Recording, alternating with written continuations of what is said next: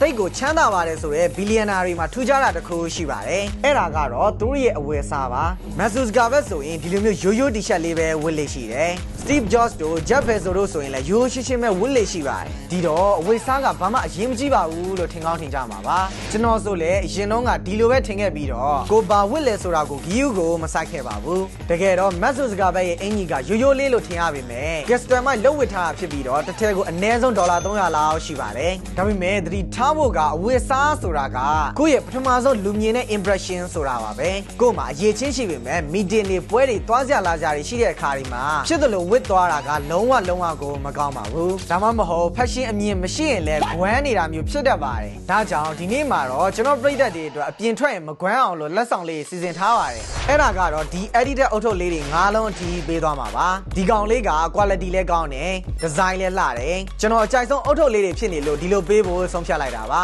ဒီ season ကိုပန်ဖိုးပေးတယ်အကိုတို့မတို့ကဆိုရင်ဂုံဂုံကြီးဆိုတဲ့ဘန်ကောက်မှာအခြေချတဲ့ reseller တွေဖြစ်ပြီးတော့သူတို့စီမှာ branded ဝတ်စားတွေကိုမှာလို့ရပါတယ်ပိုကောင်းတာက reseller ဖြစ်လို့ brand အစ်စ်ကိုမှဈေးသက်သာအောင်ရောင်းပေးနိုင်တာပါကဲဒီတော့ကျွန်တော်တို့ပေးတဲ့အုတ်ထုတ်လက်ဆောင်လေးတွေကိုရဖို့ဆိုရင်ဒီ edited အုတ်ထုတ်ကိုဘာလို့သဘောကျလဲဆိုတာကို public နဲ့ share screenshot ရိုက်ပြီးဒီ video အောက်မှာအဲ့ဒီ screenshot ကိုလာမှတ်ပေးအောင်ပါပဲဒါဆိုရင်ကန်ထူးရှင်9ယောက်အထိရွေးပြီးတော့ဂုံဂုံကြီးပေးကနေစုပေးသွားမှာပါဒီလောက်နဲ့ပဲမပြီးသေးပါဘူးနောက်ထပ်ကောင်းတဲ့ season လဲကြံပါသေးတယ်။ကြံမတိုင်ခင်အထိသူတို့စီမှာဘာဝဲဝဲကျွန်တော်ရဲ့ဒီဗီဒီယိုကိုပြလိုက်တာနဲ့ delivery free အိမ်ရောက်ကိုပို့ပေးမှာပါ။ဘန်ကောက်ကနေ brand ဝစ်စားတွေမှားခြင်းနဲ့ဆိုရင်ကျွန်တော်မိတ်ဆွေတွေဖြစ်တဲ့ဂုံဂုံကြီးတို့ကိုသတိရလိုက်ပါ။နောက်ဗီဒီယိုတွေမှာလည်းမထင်ထားတဲ့ဆုလက်ဆောင်တွေကိုပေးရင်ပြန်ဆောင်ကြပါမယ်ခင်ဗျာ။